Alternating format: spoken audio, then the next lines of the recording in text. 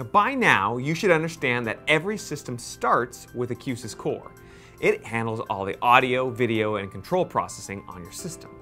But now we're going to introduce you to all the different specialized network peripherals you can add depending on your application needs. All of these peripherals send their data over the same standard gigabit network back and forth to the core for processing.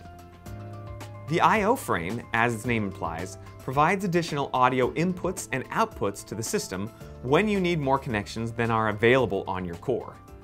The standard model of I.O. frame can house up to four specialized I.O. cards, which bring analog and bridge network audio sources onto the QLAN network to be delivered to the core.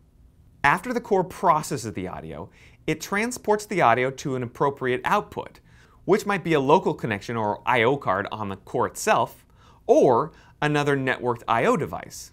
Regardless of where the audio leaves QSys, that audio is then converted back to analog and delivered to the amplifier. QSys I.O. devices are intended to be physically located close to the signal source or destination. The different types of I.O. cards will be covered later in this course. There are also a few other types of I.O. devices.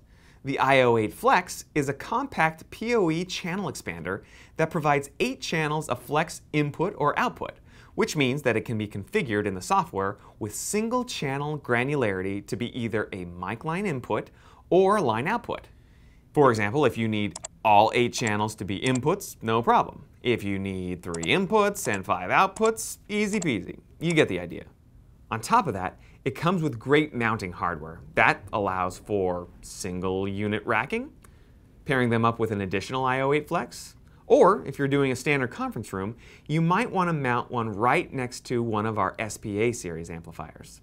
Or mount them outside the rack entirely, under the table, or behind an LCD screen.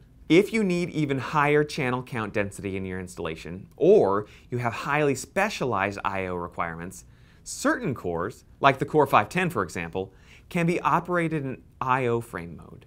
This mode offers the ability to integrate up to 128 by 128 audio channels via its 8 I.O. card slots.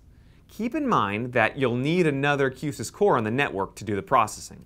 Similar to the IO8 Flex, the IO22 is a compact standalone I.O. box that provides two mic line inputs and two line outputs is powered over Ethernet and also includes an 8.5 watt mono amplifier to drive a local monitor speaker.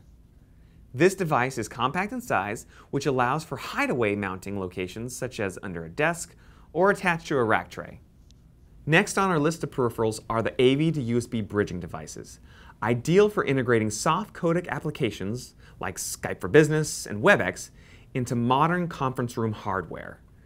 These include the QSys PTZ IP cameras and the I.O. USB bridge.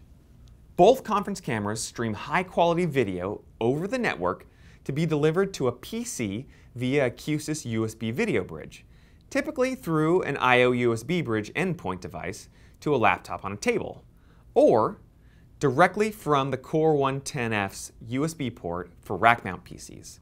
These devices also allow USB audio bridges which deliver up to 16 by 16 channels of audio to a computer on the same USB 2.0 cable as the video bridge. This system is fully explored in another course in this training. Next, the QSys touchscreen controllers offer fully customizable control of the system for your end user. User control interfaces can be designed with simple drag and drop ease with QSys Designer software, all without any scripting required. Best of all, there's no additional control hardware required to run these touchscreen controllers. Like every other function on QSys, these are software applications that are driven by the powerful QSys core processor. Choose from models that range in size, resolution, and form, including wall mount and tabletop versions.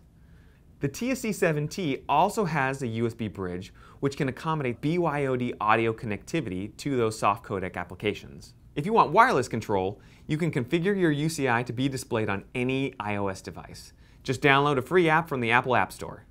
For those interested in transportation installations, we have rugged networked page station peripherals available. Just like our touchscreens, no additional processors are required to drive this sophisticated paging system.